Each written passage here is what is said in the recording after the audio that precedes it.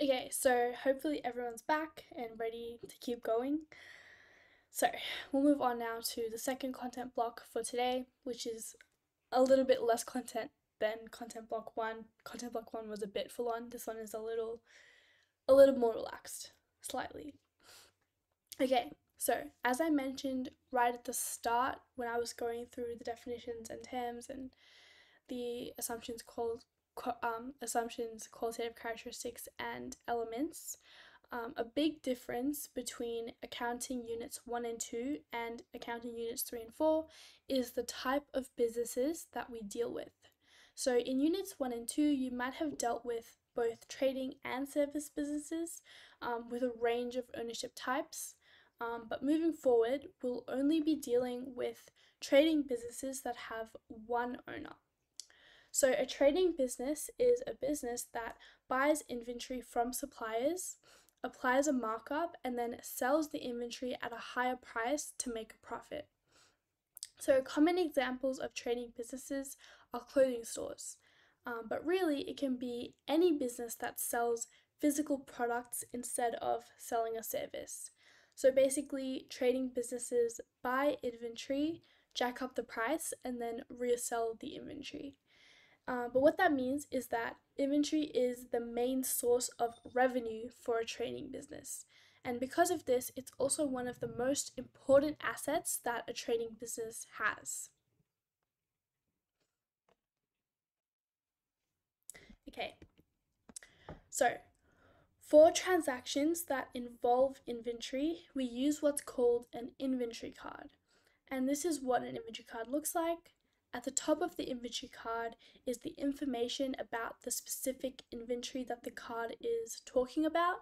So you can see the item name, which is extra large blue shirts, the item code, which is D4A0375, the item location within the store, which is aisle 8. So in this case, this is obviously some sort of clothing store and they have their inventory organized in aisles um, that you can walk down, which might not be true for every single store. Like, I don't know, they might have sections, like how Kmart has like women's, men's, children's, like stuff like that. Um, and then also included in that information at the top of the card is the name of the supplier that the business has purchased this item from, which in this case is Atlantic Apparel Warehouse. And then there will be, it's important to note that there will be a separate inventory card for every single specific type of item of inventory that the business has. So there'll be a completely different inventory card for large blue shirts and for small blue sh- shirts and for medium blue shirts and for extra extra large blue shirts and for extra small blue shirts. Um, and there'll be a completely different set of cards for red shirts. So there'll be a separate separate card for extra small red shirts, for small red shirts, for medium red shirts, for large red shirts, and for extra large red shirts. And then a different set of cards for green shirts. So as you can imagine, um, when it comes to big businesses, like for example, imagine imagine Kmart, um, they would just have thousands and thousands of inventory cards um, because for every single different type of product that they that they have for example shirts um, pants um, you know toys like Kmart sells everything pretty much um, for every single different type of inventory product that they have, there'll be a different set of inventory cards, and then even just within that set, there'll be so many. Like there'll be, you have to um, do a separate one for each different color, for each different size, for each different type of fabric. Like there, there will just be so many um, inventory cards. Um, but obviously, when we think about smaller businesses, um, that might not be true. Um, for example, I don't know, a business that makes um, all of the clothes that it sells, for example, like a crocheting business. Um, because the business is making it themselves and then selling it, um, it's not going to have as much um, inventory stock, as much of a range, but it's also possible for a small business to still have a really big range of products. For example, think about those like small businesses that are kind of like $2 shops, like they kind of sell everything. Um, like that's the whole appeal of a $2 shop. It's like you can walk in and find almost anything and spend, you know, only $2. Um, but you know, they still have a really large range of products, but really those $2 shops are small businesses, you know, they're run by locals. Um, but yeah, most most likely um, a small business will have a very specific type of inventory that they sell. Like you won't find, well, with exceptions obviously, but you won't tend to find a small business that sells kind of everything. Um, for example, you might have um, a small business that sells gardening supplies or a small business that sells chairs, like different types of chairs and couches. But that's just for example. So, yeah, depending on how big uh, a business's inventory range is, um, there can be a lot of inventory cards that the business has to keep track of. Okay, so now we'll break down the image, the actual columns of the inventory card. So the first column in the inventory card is date. So under this we write the transaction date, so um, the day and month. the next column is details. So under details we write the source document that verifies the transaction. So for example, this could be invoice 12 or receipt 4 or memo 8. The next section of columns is the in column, and within the in column, uh, we enter transactions that involve inventory that is coming into the business. So, for example, when we purchase inventory, we're spending money and we're getting more inventory. So, that inventory that we're purchasing is coming into the business. Um, so, if that makes sense. And then within that in column, it's broken up into three sub columns. Um, so we have to enter the quantity, which is the number of items, the cost, which is the cost per item, and the total, which is the total price of that inventory that is coming into the business. So, for example, with a purchase of inventory, let's say we're purchasing, you know, five shirts, um, five extra large blue shirts. Each shirt cost ten dollars, and so the total is fifty dollars. So you would do quantity ten, um, cost $5, total $50. Or, no, I think it was the other way around. Five shirts for $10, or whatever it was. I don't remember what I said. So, yeah, that's, you get the point. Like, it's quantity, cost per item, and total cost for all of the items. And then it's kind of similar with the out column. So, the out column is used for transactions that involve inventory leaving the business. So, for example, when we sell inventory, um, or even drawings, like the owner taking inventory out of the business, with both of the both of those transaction um, transactions, it involves inventory leaving the business to go to you know that customer or to go to the owner. Um, and then again, it's broken up into three sub columns. So we enter the quantity, cost per item, and total cost of the inventory going out of the business.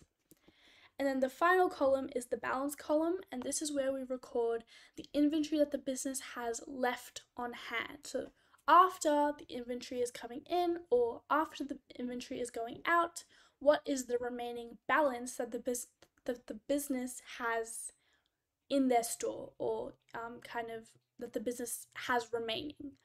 Um, and again, we write the quantity, um, the number of items, the cost per item, and the total cost of all of the inventory that the business has remaining on hand. Okay, this is something that is super, super important when it comes to inventory cards. It's really, really important to note that all prices in the inventory card and every single inventory card um, are cost prices um, and they don't include any GST. Um, and then again, um, there are different inventory cards for each inventory line. So it's really, really important that you remember that when we are entering transactions in the inventory card, we always enter cost prices, never selling prices. Even if we're recording a sale of inventory, which obviously involves inventory going out of the business, we would never ever write the selling price in the inventory card. Um, we only would write the cost price. So this means there are no selling prices in an inventory card, and all of the prices, even the cost prices, are excluding GST. So we never include GST in any of the amounts.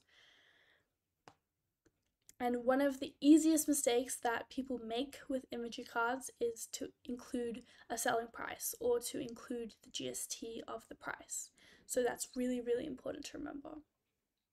Okay, now that we've gone through that, let's do an example together. So here's our example. We're recording for the month of February, so because of that, it's telling us that the opening balance at the start of February um, or at the start of the reporting period and that opening balance is 20 extra large blue shirts, each valued at $10. So the first thing we need to do is enter this opening balance into the inventory card. So under date, we would write February 1st because it's the opening balance, so it's the start of the period, which is the first of the month. And then under balance, um, sorry, under details, we have balance because it's opening balance. And then under the balance column, we have the quantity, cost, and total price of the shirts on hand. And that's 20 shirts at $10 each, which is a total price of $200. So again, to get the total, we multiply quantity by cost. It's important to note that under details I've written balance. Um, so I know I told you that the details column is for source documents, but this is one example of an exception to that. So when we're recording a transaction, we'll write the source document under details, but because we're only entering an opening balance in this case, which is not a transaction, we write balance. And this only applies for opening balances.